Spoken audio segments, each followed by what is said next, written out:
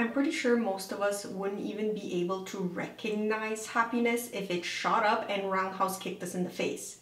Straight up. Here's the dealio fam. Happiness can be pretty hard to evoke, to acknowledge, and to maintain. Now, most of us tend to look at happiness as a spontaneous burst of feel-good emotions that are triggered by external factors, like someone was nice to us at school, you achieved a new milestone as a couple and bought your first house, or you consume a bunch of margaritas on vacay and can't remember what year this is. Although happiness is a feeling of being content, joyful, at peace, but it is also a conscious choice that requires planning, effort, and even sometimes sacrifice. 40% of your happiness levels are actually preset by genetics 60% you are in complete control of.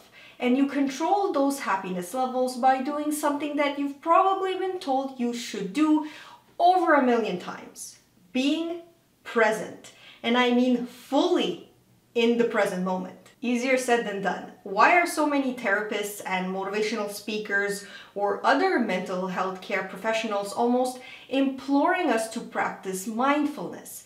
because the most control you will ever have, actually the only control you do have is in the present because the past is long gone and the future, as much as we plan for it, you have to factor in that little bit of unknown slash unpredictable chance element. Focusing on the present moment allows you to control your actions and your thoughts, which together guide your emotions not the other way around. Sometimes you might not feel very happy because you had a nasty time at the office, but you do have control over how you greet your family when you arrive home, how you think about the daily unpleasantries and hurdles we all face. Now, having the power to control your happiness levels is one thing.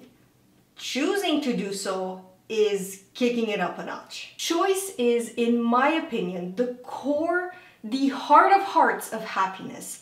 If you find yourself staying up all night thinking to yourself, why can I be happy? I'm so unhappy right now. To that, I ask you, well, did you choose to be happy today? When given all the opportunities to choose happiness over indifference, jealousy, hate, sadness, did you willingly pick it from that lineup?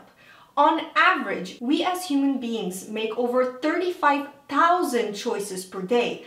Now, I don't know about you, but those are a lot of opportunities to be content, to be kind and supporting, to be loving and joyful. Bottom line, being present allows you to be more observant of all the choices you get to make during the day, giving you the power to act think and react in a way that will evoke and maintain happiness levels at the height you want. Now, that's all well said and done, but really, if you don't like yourself, if you don't respect yourself, and if you don't bother to take care of you, then surprise, surprise, that's going to influence your decisions. Why do you think you spend hours on end binging self-help content on YouTube or reading self-improvement books, but never seeing any results. It's because you don't care enough about yourself to actually put in the work, make those harder decisions that will help you truly change and get better at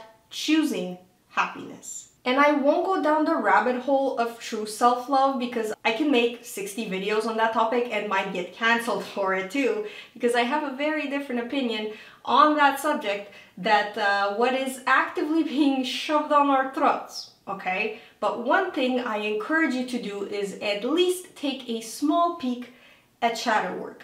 You don't even have to do any research on it. I've done that for years and years and years and put it all conveniently in one ebook. It is a shameless plug, yes, but will you personally benefit from it? Yes, yes, and double yes. So sorry, not sorry, but you can be in the present moment and consciously decide to choose happiness if you subconsciously wish to punish yourself. Being happy is hard work, but it is also worth it because you're worth it. And because if we get more happy people walking around, it will encourage others to also become happy people walking around. And that should be our collective goal for this year. Okay, so with that being said, thank you so much for watching. Please don't forget to give this video a thumbs up if you liked it and subscribe to me if you like what you see because I am back to my regular posting schedule once a week, but you don't know what day of the week, so hit that bell so you get the notification when the next video is up. Thank you everyone. Bye.